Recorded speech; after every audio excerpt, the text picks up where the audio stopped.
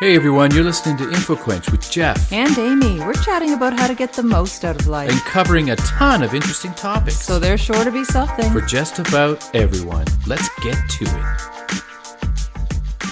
Hey everybody, and welcome to InfoQuench. I'm your host Jeff. and I'm Amy, and this episode is going to be on how to be more Zen. More Zen. Or how I, I like to refer to it as more Jeff like. What if you're already Zen? Yeah, that's what I was just gonna say. I'd say at 80% Zen. You can always be 20% more. chaos. You could be more Zen. So is this like Zen as in Zen Buddhist uh, perspective on things, or are we gonna we're gonna get into that, aren't we? We are. Well, it's more around the idea of peaceful, calm Okay. demeanor and lifestyle as opposed to a very strict Zen Buddhism practice. Okay, so that makes sense. We're just focusing on the calm. I like that. I like that. And I got a lot of the content for this episode from a great website called Zen Habits.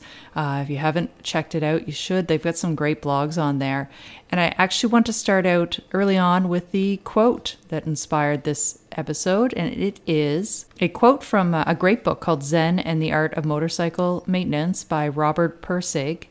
And the quote is The only Zen you find on tops of mountains is the Zen you bring there. Ah, yes. That's true. That's a, that was a great book too, by the way. I read that a long time ago. It was one of the first books you recommended to me when we started dating. Yes, that's right. And And you read I- it right straight away. I did. You wanted to learn more about me. That's true. You also lent me American Psycho. Oh yeah, that's right. I did. that's right. I did. What a what a weird book to give somebody when you're trying I- to. Hey, read this. This this guy's just like me. You are very eclectic in your uh, enjoyment of literature. Luckily, I didn't take the uh, American Psycho too To mean seriously. anything. No, exactly. It was just a book, but it was it really was well just written. a book. I'm still alive. Still alive to record this podcast with you. Yeah. But the idea around that quote is, you know, it's Zen isn't something you find. We often try to think about ways to escape, and I think it's great to connect with nature and go to places in, in the world that do give you a sense of calm and peace. But really, when we talk about Zen, we're talking about that inner calm. And that's something that you can carry with you regardless of your environment or your circumstances. So that's what we're going to cover in this episode is just some tips or things that you can think about as you go through your daily life to be a little more zen. Right. So you, everybody's got that Zen inside, and they just need to tap into it. Right. And some of the stuff people may be doing already, but give it some thought and maybe work on adding a little more of it to your life. And the first thing is just around single tasking. So the idea of focusing on one thing at a time. Oh yes. in a culture that is very much about the grind and trying to fit as much into our day as possible, we can get caught up in multitasking and lose the ability to focus on a single task. And there's actually a Zen proverb that goes, When walking, walk. When eating, eat. So the idea is to focus on what you're actually doing. Don't, Right. Don't let your mind wander onto other things or, or try to uh, attempt to do multiple Aren't you a little advanced though if you can walk and eat? Isn't and that chew the gum. ultimate in I think it's the chewing of the gum. yeah. Sure, you can chew gum too. Yeah. You I'm can't in thinking- Singapore. Well, no. You, well, you can. You just can't throw it on the ground. That's right. Throw you in the slammer. Is that true or is that is that That's like a- illegal. It's, okay. Yeah, it is I've heard that before, but I didn't know if it was one It's of those. It's illegal to even bring chewing gum into the country, as far as I understood. Like Hmm. not just putting it on the ground. All right. So the next is Mm-hmm. when you're doing these single tasks is to do them slowly and deliberately. So don't rush. You know, take your time, move through it slowly, and uh, you know, one of the tasks that I often hear people say is meditative is washing dishes. Yeah, I've heard that too. I, I don't I don't see that. No. I don't find it. I actually find it very satisfying to load a dishwasher to perfection. Yeah, you do that every day. I what know. what is what is uh, an action that is meditative besides the dishwasher for Well, you? Like For me, Yeah, walking like is definitely walking? meditative. Walk, walking is great actually. For me, it's like making art, like painting or something like that. I get into a zone, and it's it is very zen like. I would say, because you kind of shut off your mind and you just go. I, at least that's how I do it. Well, I think a lot of times people are drawn to hobbies in in their free time that are meditative in nature or repetitive things that calm their mind. I've been enjoying puzzling, as Yes, I talked about on recent episodes, and that is definitely something that is uh, you know, just really focuses your thoughts on on one thing. It's amazing to see how you break down how to tackle a puzzle. Like how you're like, I gotta get all the words over here, then I gotta get all the blue over here. I mean, I guess that's pretty much how everybody does puzzles. I just don't really do puzzles I don't know. very much. I think some people just sit down and enjoy them. I look at them and try to think of the most efficient way to make it. And every puzzle's different depending on the design. And you know, some you tackle the patterns a little. Because you do two things at once. Sometimes you do the border as well as flip over all the pieces. Well, yes, you've got to sort while you're flipping. You It makes sort while you flip. there's no other way to do that. Really, that makes sense from an efficiency standpoint. Because you'd just be wasting time. Not Zen at all. So the idea, you know, not don't rush through a task. We, we were watching an episode of House Hunters recently. House Hunters International is one of my On favorite. HGTV. I love HGTV. I have You do. dreams of living in some foreign land, uh, and you know, years down the road for even you With know a a six month period. Yeah, and it has to be near a beach, higher up, so that I don't have to deal with bugs and snakes and such. High enough up that I don't even have to deal with mosquitoes. yeah. Anyway, I digress. There were, we were watching it, and a couple were they were looking at apartments. And I don't know if it was in Paris or it was in a city, and the husband was adamant that he did not want a dishwasher because he loved doing dishes so much. Yeah, that's very rare, I think. I found that odd. I know some other people who really enjoy doing dishes as well.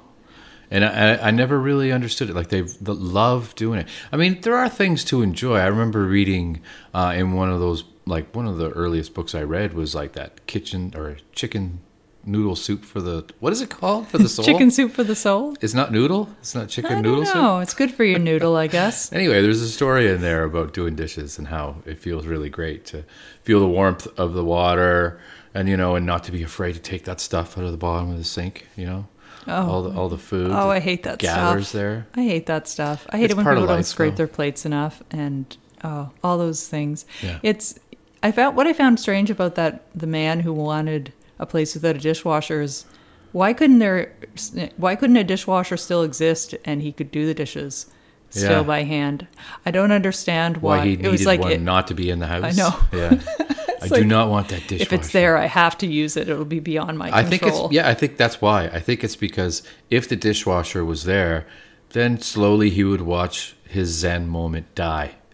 And just and then he would be like all uh mechanized. Yes. Great word, Jeff. Yeah, I had to think about that one for a second. We had a friend who was really had a clever idea of having two dishwashers and only having enough dishes that would fill a dishwasher. And essentially, you'd run one, you run your dishwasher, and you'd use all the clean dishes out of that dishwasher and just keep them stored there as you're using them. And as they're dirty, put them into the second dishwasher, and then not need cupboard space. Wow, that's like that that's not privilege at all. Wow. Might as well have two or three ovens too and you know five fridges. No, it makes sense though. I Well, I don't it does know. sound privileged though. You well, know, you don't have, but you don't have to have any cabinets. No, I know. which are really expensive. Yeah. I don't know if they're more expensive than dishwashers, but anyway, I digress. Um, if you are doing a task, do it completely. You know, make sure that you finish the, what you're working on before you move on to the next thing. And you know, there are times when you don't always have that option. Like, for instance, if you're in a, a, a situation where there's an urgent item that comes up and you need to address it, you have to move between items. But ideally, if you're doing a task, Yeah. finish that one up, put everything away. You know, even if you're making a meal, Yeah. clean up after yourself, and then go down, sit down at the table and eat. You know what I find pretty zen? You well, hold on before we leave Oh, that one. go ahead, go you ahead. often when when you're eating a meal and I and I look at the kitchen, I as soon as I walk out, you're like, I'm gonna clean it when I'm done. I just didn't want my food to get cold. That happens all the time. I know. Then I do I do clean it. Don't you sit here and say I don't clean it. But I'm no, I'm not. I'm not saying that. I just actually have a hard time enjoying my meal when I know that the the, the Oh, no, kitchen I- is dirty. I'd prefer to have everything put away and I'm not I gonna. I, I'm not. I mean, I'm trying to get better at clean as you go. But if the if there's like a mess from cleaning a meal or making a meal, I'm not gonna let my food get cold while I clean the kitchen and then and not enjoy my meal. But you don't mind letting the condiments rot on the counter. They don't rot. It's like 10 or 15 minutes. doesn't take that long to eat. Rot. Yeah. the carrion. But no, but I was just going to say that, you know, you, there's, there's talk about doing, being Zen with one, uh, you know, thing at a time. But sometimes it's kind of nice to do that little challenge where it's like you look at the kitchen and you're like, I okay, I have two two objectives here. I want to clean the kitchen and I want to like cook something.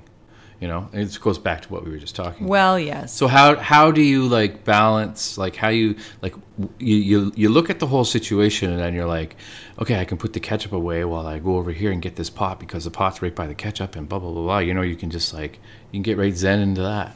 You know what I'm talking about? Well, it's true. Mm-hmm. I, I get a, a, lot of satisfaction out of finding efficiencies, and I think that's a perfect example of efficiencies. So, wherever you get your pleasure, do it Wait up. a minute. I think your efficiency is a dirty kitchen that your husband left for you, right? I, yeah. I do not do that. Anyway. No, no. Sorry. I hate to paint you in a bad light, Jeff. Don't do it. my, my, next uh, my next tip around how to be more zen is to just put space between things. And what I mean by things, I mean you know activities. Don't put everything back to back. Don't schedule uh, one thing straight after another without leaving any wiggle room. One of the biggest changes that I made that makes a difference in my day is to allow myself more time in the morning. Yeah. Just getting up a little bit earlier so that my morning isn't rushed and I very much remember to, those rushed mornings and they, they they weren't pleasant for you. And no. they weren't pleasant for anyone I else. Think they were I think that was more so though when our son was yeah. younger because there was always more prep work. Anybody who has a young child will can relate that even though you may plan a lot of extra time, it just takes a, so much time to get out of the house for it whatever does. reason. There's Yeah. always so many things you need to pack. But, you know, even in my work schedule, I do plan f- to leave time between things. So, for instance, if you have a meeting that you know you need to commute to, well, as soon as the meeting is booked into your calendar, book 15 minutes prior so it's blocked off to get to the meeting. If you have a, a meeting that you know routine, routinely is going to run long, then mm-hmm. book an overflow period directly after that meeting so that you don't get booked back to back and and mm-hmm. have that rush. The true Zen thing in all of that would be not to go to any meetings and just sit on the beach all day, would- contemplating Wouldn't the that be ideal? horizon. Yeah, it would. But I think a lot of times when you're talking about meetings too, that or any activity that that you want a little time to digest what's happened afterward, to to you know gather your thoughts and and really uh, get prepared for whatever is coming next. So if you don't have any gaps in your day to do that, Yeah. I think it just really leads to less productivity. And I just want to talk quickly about rituals too. I mean, rituals can give you a sense of calm. And for me, one of the things when we're talking about mornings is to make coffee, to take Yeah. time to make coffee manually. I used to always have instant coffee, which made my coffee connoisseur friends just cringe. And then probably about a year ago, I invested in a grinder. Yeah. By I say I invested, I think you bought it for me I did buy it for you. after I'm- me saying lamenting awesome that I wanted one for years. Mm-hmm. You finally got me one because I wouldn't go out and buy it. Yeah. And now I thoroughly enjoy taking the few minutes. I I actually open up the bag of coffee beans and smell them before I put them into the grinder and grind the beans. And then, and our son Hux wants to grind the beans, but I won't let him because I really like to do it myself. and That's being a team player. but it's a ritual for me, and that in and of itself is just a moment of stability. And Yeah, I can understand that. There, there are. I think everybody has these rituals that they love doing. Like for me, it's putting on a record. You know, you t- you, you you take time to select it. You know, you open it up. You you look at it. You clean it. You put it on the turntable. You know, you you have to manually move the arm over and drop it down on the record. I mean, it, it's definitely a ritual. You have to do that with every single record. It's amazing. Yeah, um, you know, when you say that, I I do watch you do that, and it is very. Would you say that you do it in the same order or this? exact same order every time.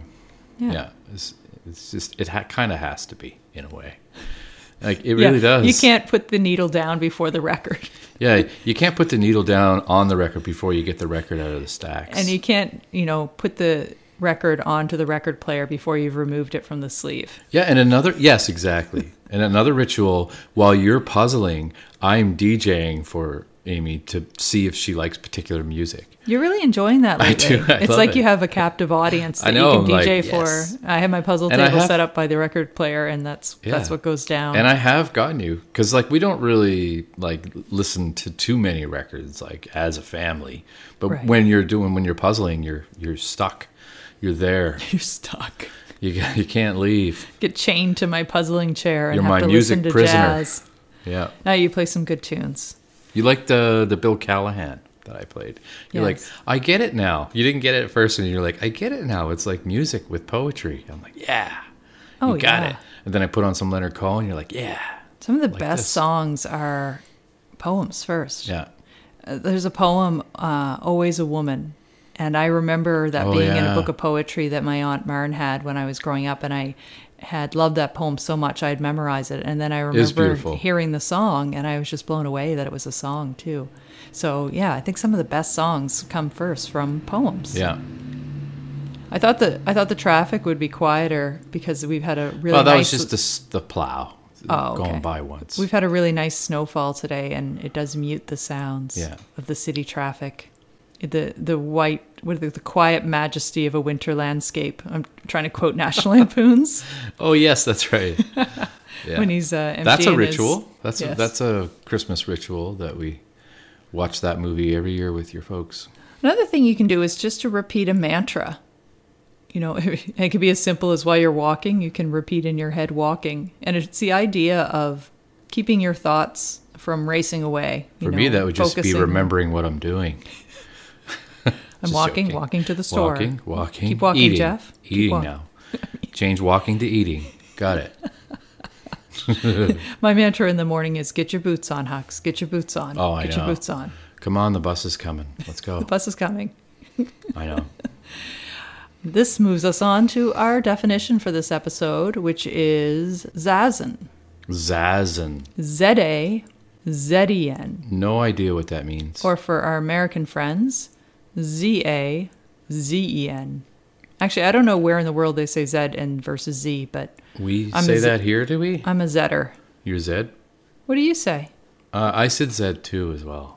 Yeah. It's literally, it means seated meditation. So, according to Wikipedia, because that's where I go for all my Zen Buddhist wisdom, Yes. is it's considered part of the uh, Japanese Buddhist practice. And the aim of it is just to suspend judgmental thinking, letting go of words and ideas and thoughts, and just letting them pass without getting involved in them. Oh, Interesting.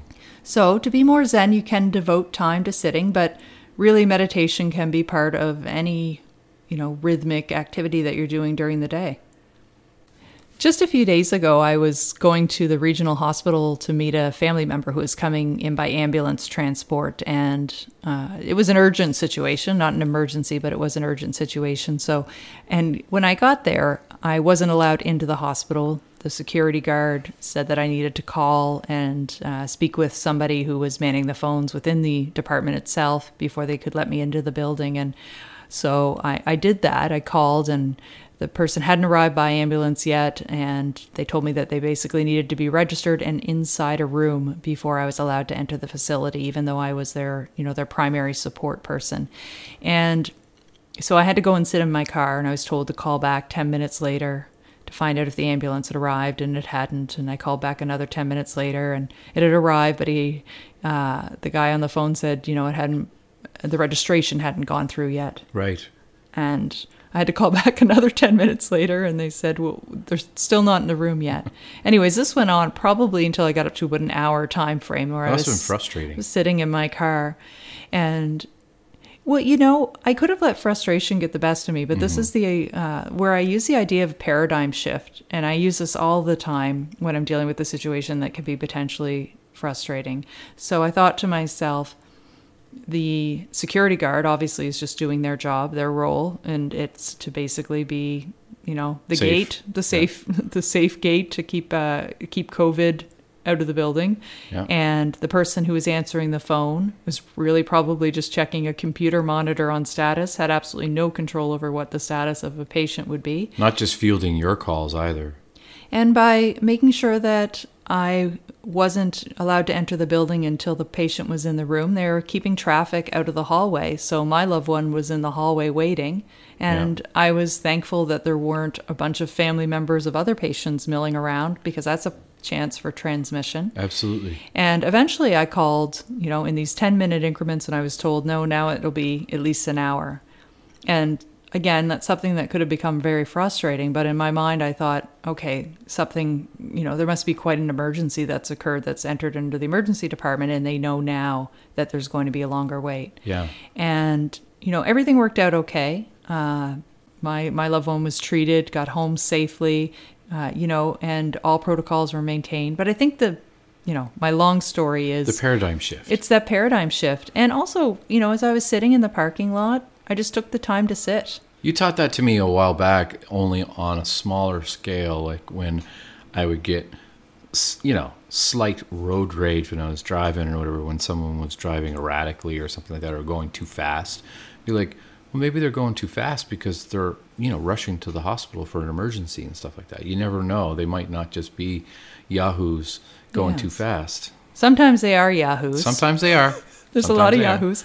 But if you if you picture in your mind that you know there may be something more dire going on, I think it helps you deal with the situation more. And Yeah. you know, as I sat there in my car, I thought I'm lucky enough, I'm fortunate enough to have a warm car to sit in. Mm-hmm. I'm also fortunate enough to have a loved one who's in for an urgent scenario, but not an emergency situation. And I can imagine other people sitting in their cars, maybe with somebody who is going through a heart attack or a Yeah. matter of life or limb, which would be triage at a higher level, but not having access, you know, to get to them. So the And- overall thing was it was fortunate, and it was all part of how Yeah. we protect our healthcare system. And we, yeah, and that's the thing. We wouldn't, we didn't have to pay for that, that uh, situation. well, you know, I, I, I often think about that when we're in a hospital situation is that how lucky we are as Canadians to Yeah. not also be thinking about the bills that might be attached to that care because Yeah. that would just be an added stress in a time of already heightened stress. agreed.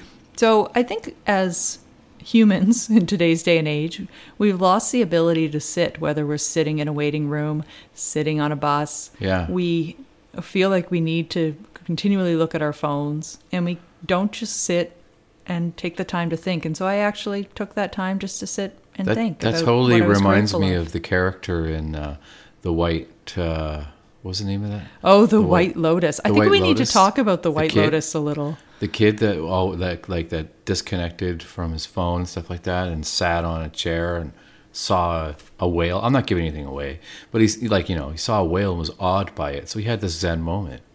Well, spoiler alert, there's a whale. Well, it's not going to change the narrative at all in any way.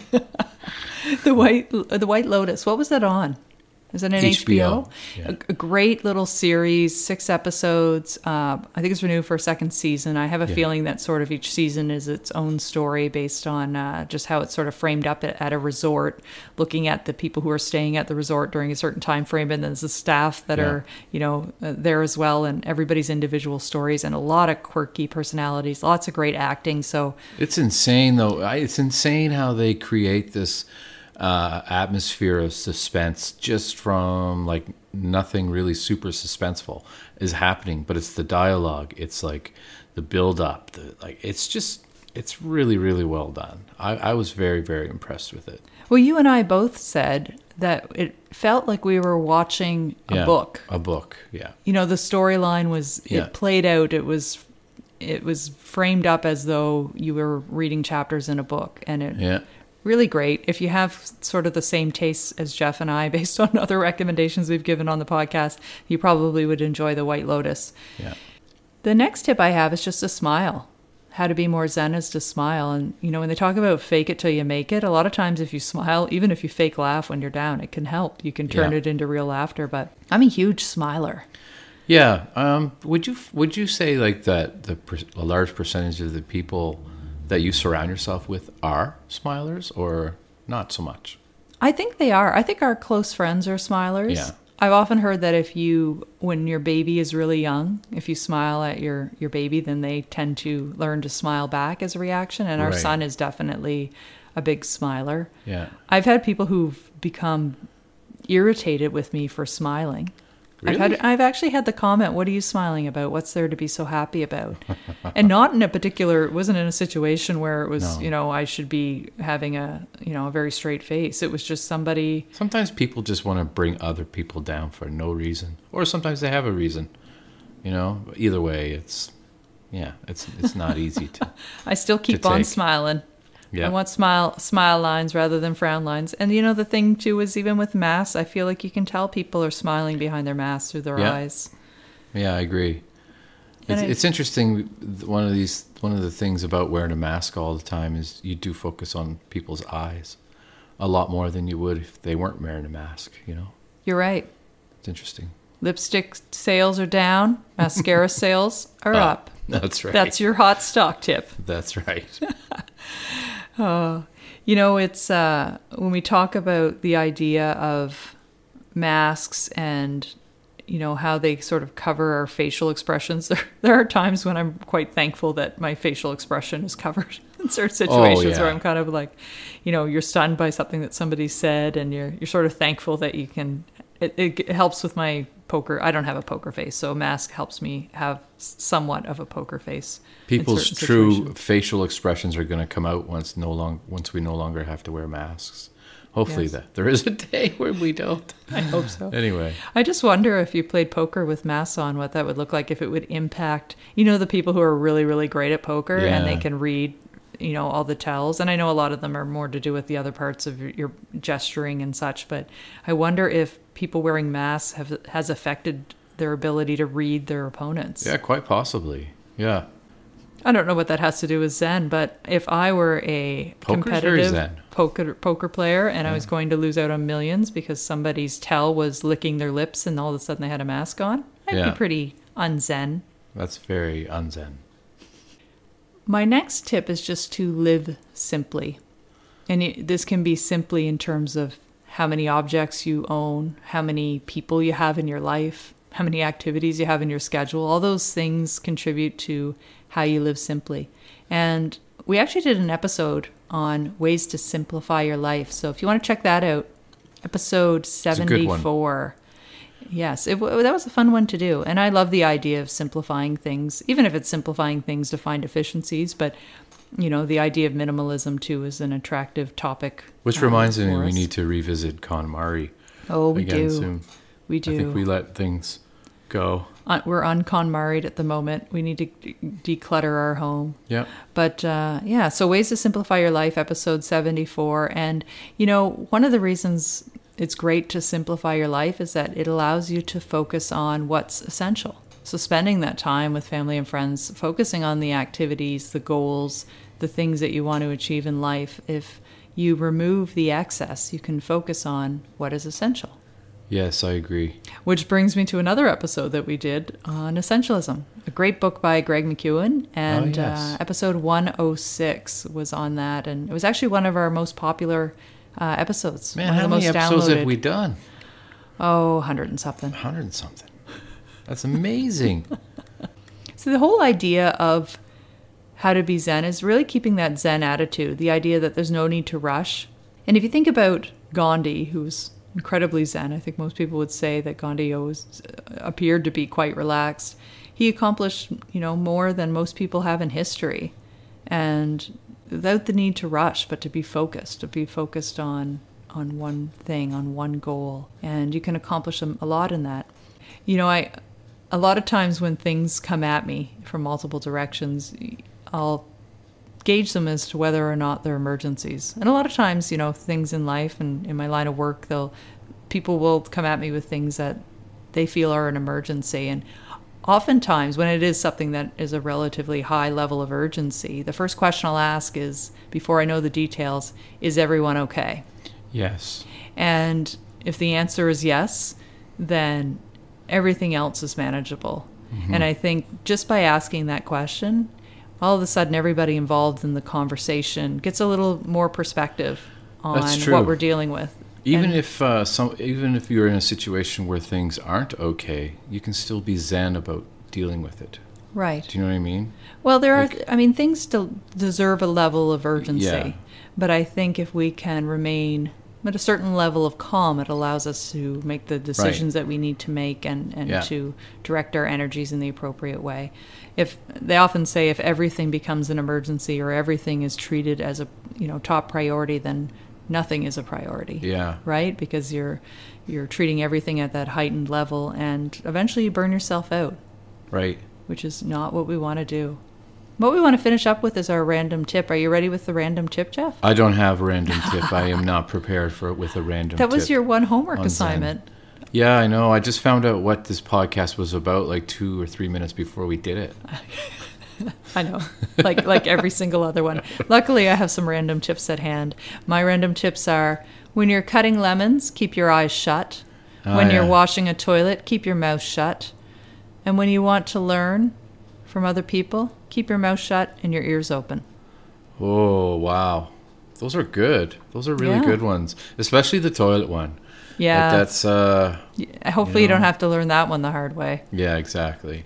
No one wants like a mouthful of toilet water. The old toilet spray, the mist. No thanks. Thank- No thanks. No thanks indeed. Thanks for listening, everybody. Thanks for listening. Bye bye. Bye bye.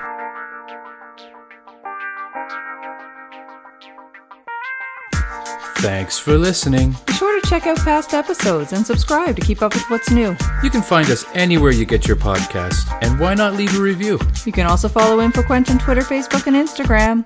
Till next time.